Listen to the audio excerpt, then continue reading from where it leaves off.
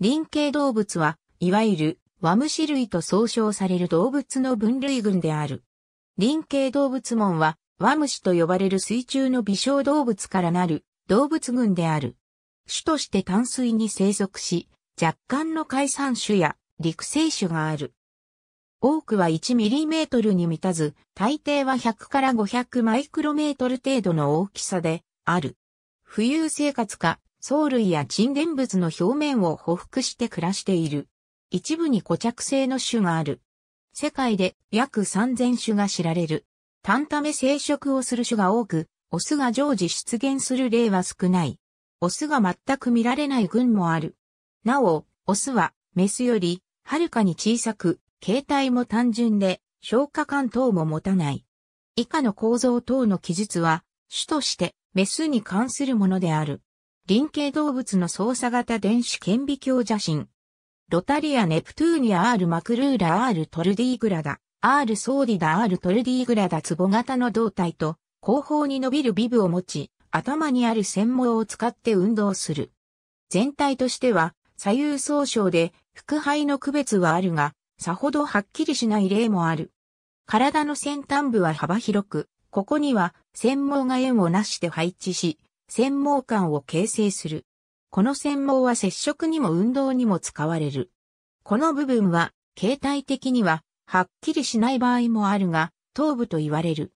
目点や特殊な感覚器を備える例もある。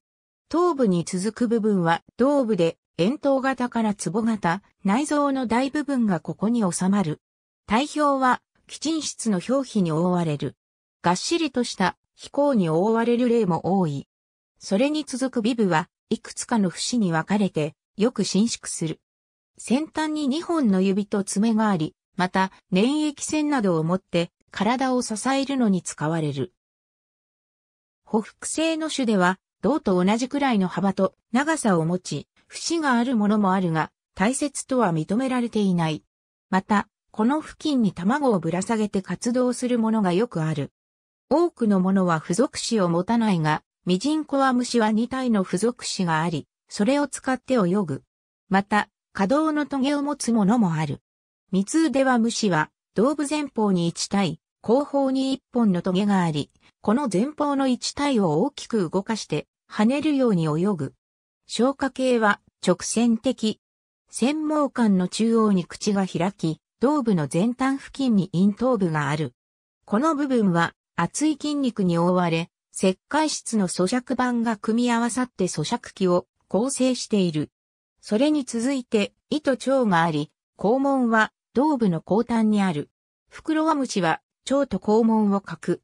頭部の内部を広く占める体口内は消化系の表面に上皮層を書くので偽体孔である。また、縦に走る筋肉がよく発達し、これによって体を伸び縮みさせ、よく運動する。神経系としては、咀嚼脳の背面に脳神経節があり、ここから全身に末梢神経が走る。排出系は原人管を左右一対持ち、その末端は肛門につながる膀胱に開く。生殖層は消化器の腹側にあり、やはり肛門に口を開く。なお、オスでは、この位置に陰茎がある。基本的には、水中動物であり、陸で見られるものも、特に湿った状態の時に出現する。繊毛を動かして、デトリタスなどを集めて食べているものが多いが、植物の汁を吸うもの、捕食性で、原生動物や他のワムシ類などを捕らえるものも知られる。寄生性のものも知られている。多くは自由生活で、浮遊性のものもあれば、気質上を這い回ることの多いものもある。専門を動かして泳ぐか、ビブで気質表面に付着し、尾を動かして運動する。昼型は虫は、頭部とビブを使い、昼や、シャクトリムシのように這う。昼型は虫は、乾燥にさらされると脱水して、寒眠りと呼ばれる無代謝状態になる。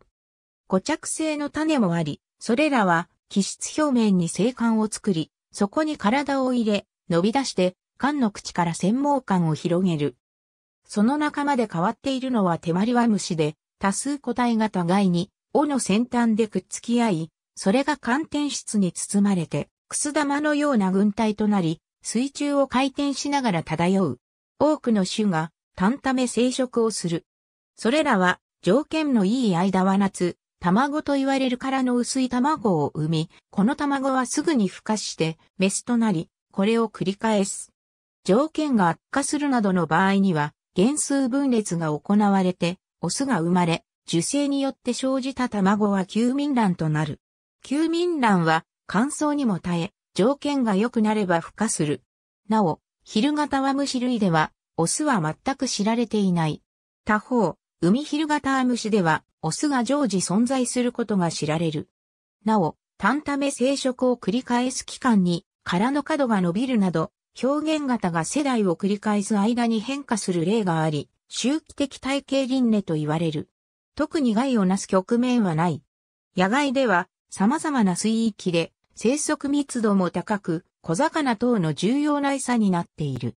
また、デトリタス食のものは水の浄化にも効果が高いと言われる。特に塩水ツボワムシは人工培養も行われており、アルテミアよりも小さな池として、幼魚上等では重宝される。偽体孔を持つとされ、かつて袋型動物とされたこともある。その中では小型であること、専門で運動する点で腹毛動物に似ている。原人感を持つ点では、変形動物と共通点がある。その体制をトロコファーと対比させる説が唱えられたこともある。なお、近年の系統研究からハリアタマムシがこの門に含まれるべきとの提案もなされている。昼型は虫の一種すべてを輪形動物綱にまとめ、伝統的には生殖期によって三群に分けるが、あまり安定した体型はないようである。以下に旧来の分類体系を示す。ワムシツナロタトリア。ありがとうございます。